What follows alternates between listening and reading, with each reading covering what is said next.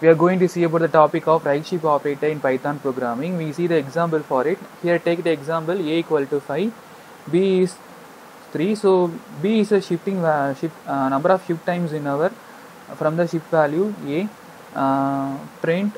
So I use the double greater than symbol used to perform the right shift operator. So we here we get output value 0.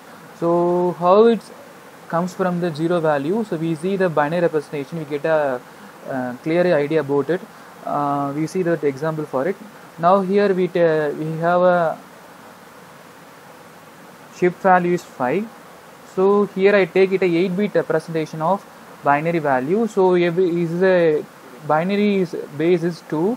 That way I give a 2 ba- 2 power 0. So it is a position 0, 1, 2, 3 is a positions. So every position have a decimal number corresponding position is 2 power 1 2 so 2 power 2 is 2 into 2 4 so we get a decimal number like that. Uh, so what are the two number we add uh, get a 5 decimal number. So 4 make it turn on uh, 4 position 4 uh, value and uh, 1 so we, we had both 1 uh, 4 and uh, 1 means we get a 5 decimal number. Another position make it a 0 for it.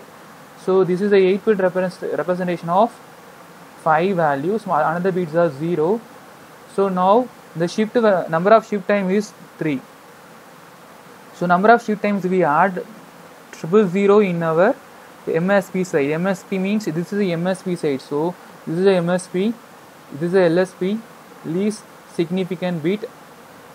This is our MSB so we we did a shifting in a right side. Good that way we are adding the number of times zeros in our uh, left hand side. So here i have had the 3 0 in our value. So this is for the 3 so 3 0 shifting value. And after here see that uh, original values for the uh, 5 so it is the original number. So every bit has here the position will be changed.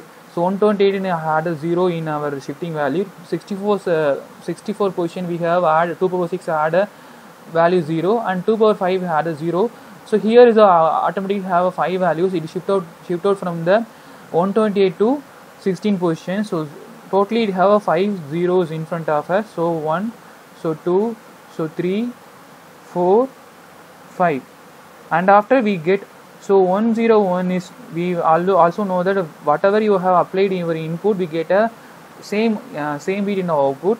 So here's 10 is neglected because of um, it is 8 bit one so the last 3 bits uh, shift out values are discarded.